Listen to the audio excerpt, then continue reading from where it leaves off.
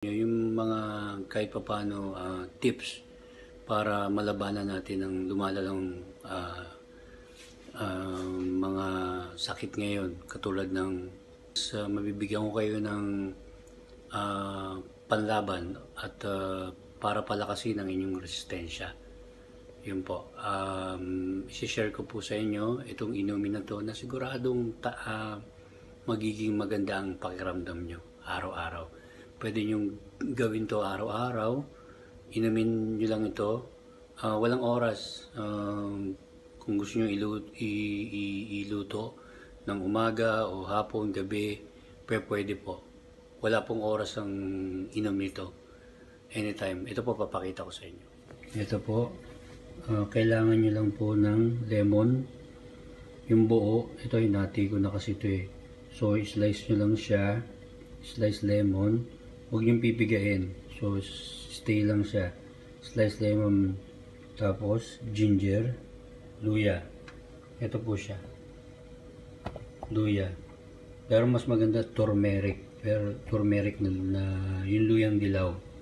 Pero ito, okay na po siya. Ito, luya. And, ah, tapos ito ay ang hiwa niya kahit papano. Tapos pitpitin nyo lang para kumatas yung katas niya lumabas. Pitpitin nyo lang. Tapos honey. Ito, kumuha kayo ng magandang brand para sa inyo ng honey. Yung tunay, yung legit. Ito yung nabili ko sa grocery dito. Honey, pure honey.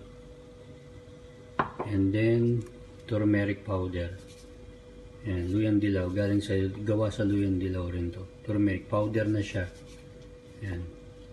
Turmeric. Paano nyo pronounce yun? Basta turmeric. Ito. So, ang gagawin nyo, so nahiwa nyo ng lemon in wedge. Tapos, julienne na, ano, na ginger. Ito. Ito yung luyang ginamit ko. And then, ito na siya, pinapakuluan ko na. So, kailangan nyo lang ng tubig boiling water and then ihalo nyo lahat yung honey